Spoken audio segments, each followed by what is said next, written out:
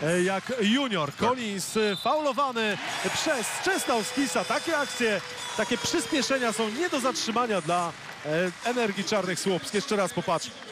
Tu troszkę nierozsądny ten, ten faul, bo było wiadomo, że już w takiej sytuacji